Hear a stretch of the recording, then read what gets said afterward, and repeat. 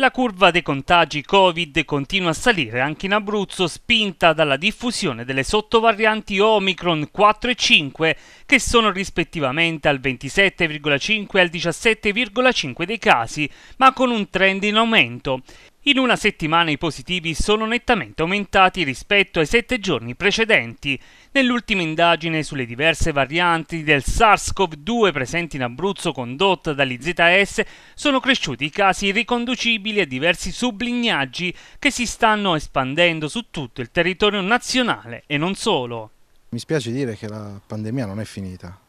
tant'è vero che ci sono in questo momento casi in aumento quindi l'incidenza della, della, della, pandemia sta aumentando, diciamo così. E in Abruzzo, ovviamente, essendo un, un estratto dalla panoramica nazionale, abbiamo anche qui uh, dei casi uh, da segnalare, sostenuti da diverse varianti, oddio, sostenuti da una variante in particolare che è la variante Omicron, con i suoi diciamo, sublineaggi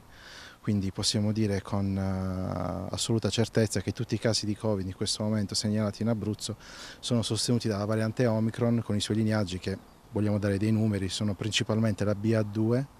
quindi la variante 2 della Omicron e poi in aumento ci sono le varianti 4 e le varianti 5.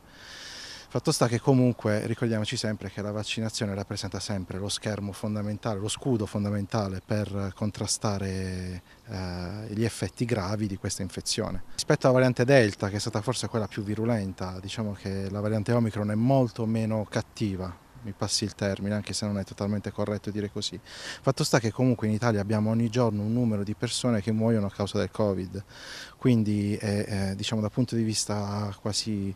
scientifico potrebbe essere accettabile, nel senso che abbiamo un numero basso e tant'è vero che ci siamo quasi abituati a questa a questo purtroppo a questo bollettino. Fatto sta che dal punto di vista diciamo, etico e dal punto di vista diciamo, umano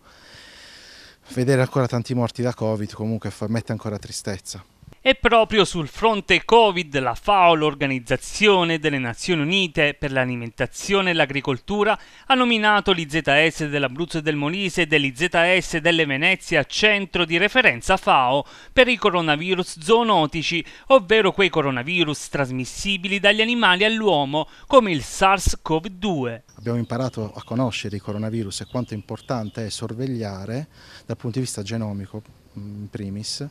i coronavirus che circolano negli animali e il loro potenziale infettivo nei confronti dell'uomo. Infatti con la FAO um, la nostra mission sarà quella di andare a sorvegliare nelle aree dove c'è promiscuità tra animali selvatici e uomo i coronavirus che circolano nell'interfaccia uomo-animale, appunto perché potrebbero essere quelli che in un futuro prossimo potrebbero dare problemi di nuovo in sanità pubblica.